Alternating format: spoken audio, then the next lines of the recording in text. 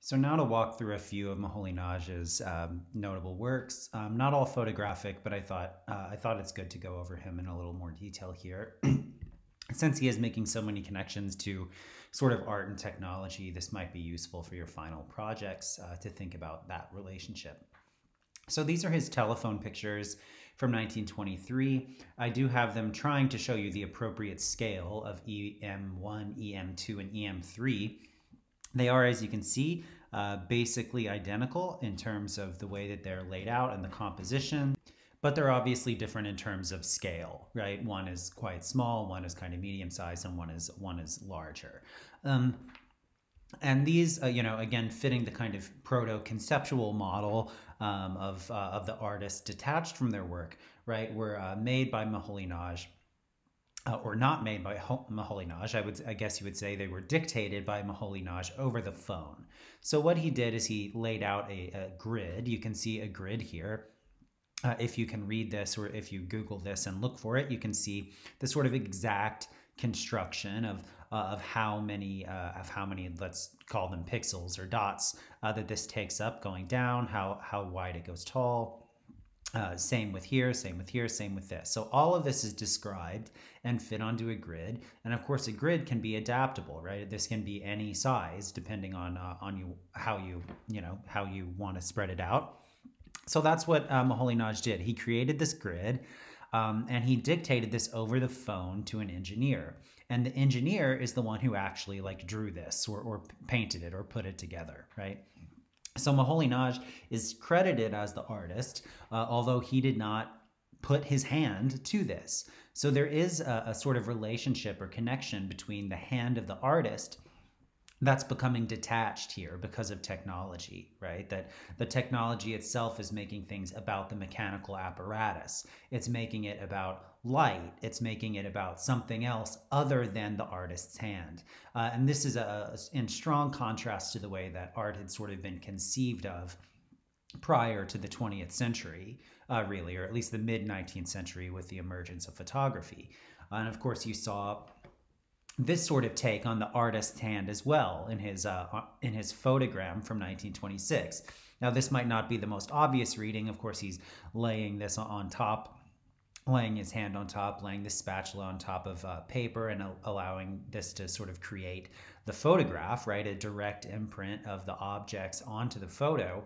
Uh, but the fact that he's using his hand here, again, the presence of the artist hand, I think is significant when you see that, I think it does signal or at least point to something that's generally absent from this kind of uh, from this kind of work. This is a direct imprint from the sun. The artist's hand might set up the objects, but it doesn't do anything in the way that it does when you uh, are a sculptor or a ceramicist or uh, or a painter. The hand is again disconnected from these things uh, and disconnected because of technology. Uh, but at the same time, right, you have him playing on the artist's hand here, making it the kind of central or, or most dominant or uh, at least largest image uh, in here. Um, to sort of speak to uh, how the artist's hand is being uh, either removed or, if not removed, at least changed and modified um, by uh, by new technologies. Um, and he that he does this through photographic practice as well as others. I think is uh, is extremely significant and and points to his uh, his sort of larger importance um, in the 20th century. And of course, I also uh, misspoke here, so let me correct myself. Um, what we're actually seeing here, right, is the artist hand next to, I mean, what is this? I think I, I just called it a spatula because it looks like a spatula, but you can see the little dusty edges here. This is a paintbrush, right? This is Moholy-Nagy putting his hand and a paintbrush onto photographic paper and exposing the composition to light.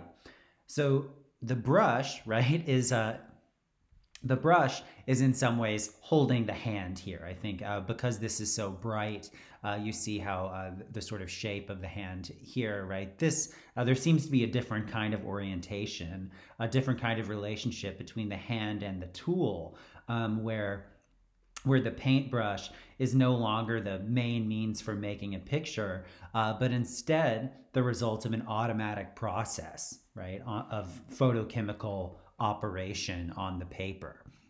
So it's this kind of relationship that Moholy-Nagy is really uh, thinking through here, even when he does sort of straightforward images. If you call this straightforward, climbing the mast from 1928, one of his great images that's used uh, by obviously here, right? We're way past the daguerreotype using what has to be a very small, uh, almost um, handheld mini camera with a fast shutter speed um, to capture or, or to see this person as they're walking up this strange diagonal onto the mast um, onto the mast of a ship.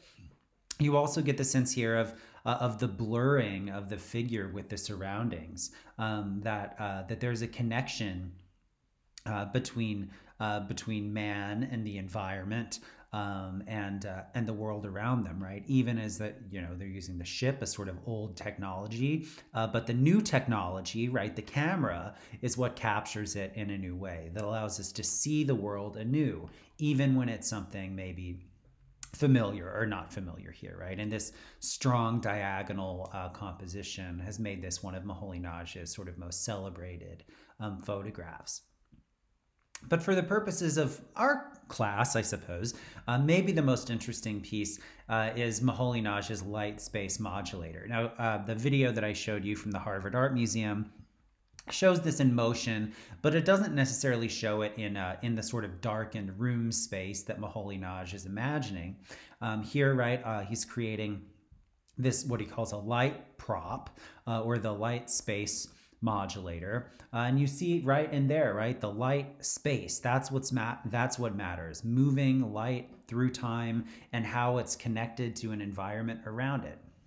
So you have a connection here obviously to uh, to a mechanical uh, sculpture that's being made with uh, with the advent of new technologies. This is a sculptural object placed uh, in the center of a room maybe on a pedestal like uh, like this one here um, but it's also being used almost for, to create like an installation environment uh, of projected light onto a wall, right?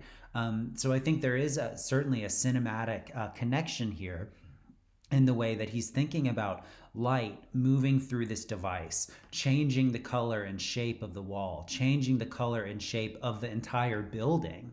Um, and that this is really navigating light as a material light as the material object that's going to take up space, even while he has something that is mechanical and sculptural. At the same time, there is a sense of, uh, of projection.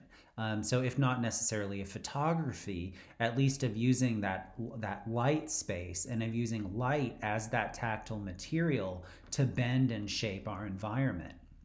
Uh, and he is thinking about this on a large scale.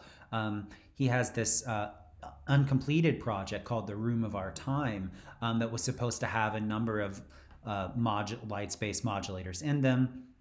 He had this design for this uh, for this to be set up, uh, and then different images, photographs on the wall. Which, if you can imagine something like this with this red and green light rotating around the room, would absolutely alter all of the photographs and all of our sense of depth and space and color and time all through this rotation of light, this projection of light onto the walls.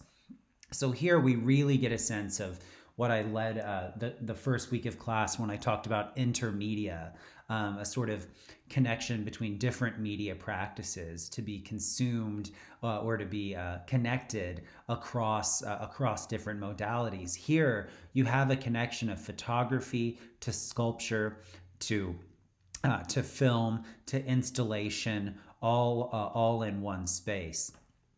And this is something that maybe not be not be huge in the 1930s, but certainly in the 1960s, and part of what we'll look at um, next week, this idea of expanded cinema takes uh, takes a lot of this up. And this is an example of Stan Vanderbeek's movie Moviedrome from 1963 you can see on my cursor, you have a number of images projected onto the wall. This ha often had multiple um, film projectors, slide projectors, other photos and drawings hung on the wall. Live music would be played down here. You would have stroboscopic lights projecting around the room. So you get this full on environmental installation um, that really is being drawn out of what Moholy-Nagy is setting up for us in the in the 1930s, uh, 1920s and 30s at the Bauhaus. So when you think of a contemporary light show, um, or even like a concert that you know with a, a, big budget with with wall projections and sculptural projections, light projections, um, it really is uh, one of the founding one of the founding figures of that kind of thinking, that kind of intermedial thinking, uh, is Moholy-Nagy at the Bauhaus, with uh, in particular with his um, light space modulator.